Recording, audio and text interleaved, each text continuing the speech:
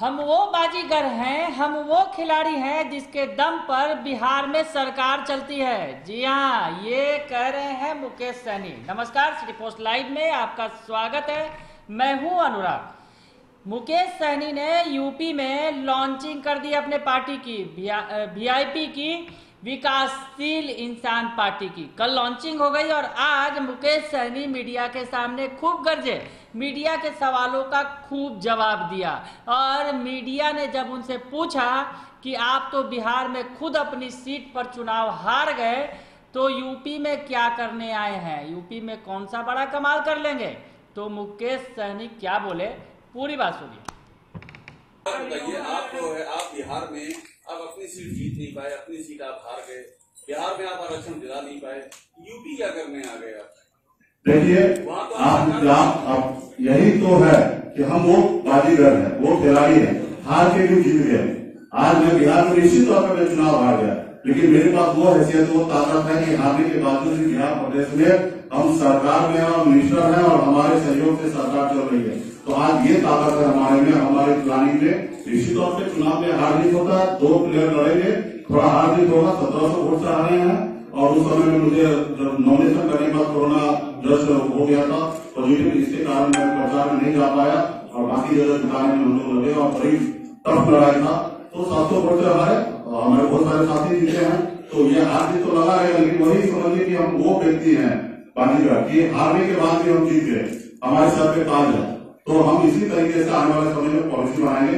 मेरा लक्ष्य है दिल्ली पहुँचना और बिहार, उत्तर प्रदेश और झारखंड में हम संगठन मज़बूत करेंगे 2024 में। हम कम से कम 25 सांसद बनाने का लक्ष्य रखेंगे और दिल्ली जब हमारे सांसद पहुँचेंगे तो निश्चित तौर पर निषाद समाज को आरक्षण दिलाएँगे।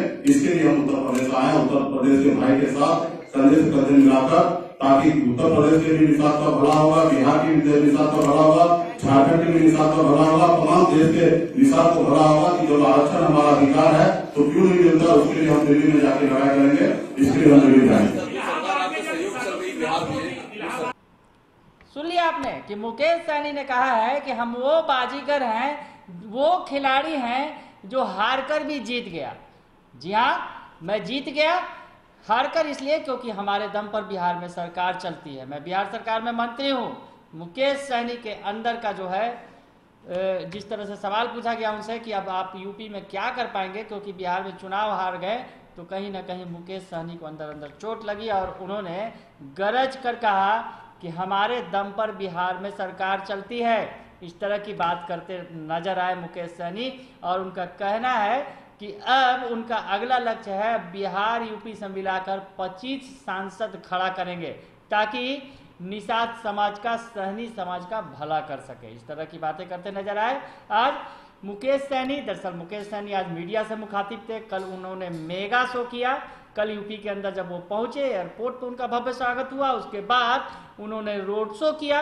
रोड पर गाड़ियों का काफिला दिखा। लोग उमड़ पड़े देखने के लिए मुकेश सैनी को और जब मुकेश सैनी ने पार्टी कार्यालय का उद्घाटन किया तो सैकड़ों हज़ारों की संख्या में उनके पार्टी के कार्यकर्ता वहाँ मौजूद थे। तो आज मुकेश सैनी की बारी थी, गरजने बरसने की। और मुकेश सैनी ने आज साफ़ कहा कि वो यूपी में 160 सीटें उन्होंने खोज निकाली हैं, जिस पर वो चुनाव लड़ने जा रहे हैं, अपने दम पर, अपने बूते पर।